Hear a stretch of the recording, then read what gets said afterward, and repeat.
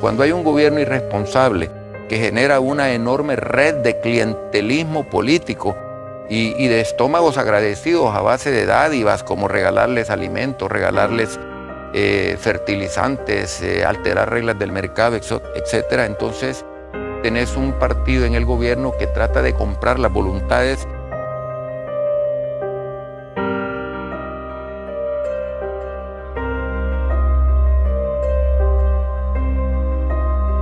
mensaje de Arena Nunca Más.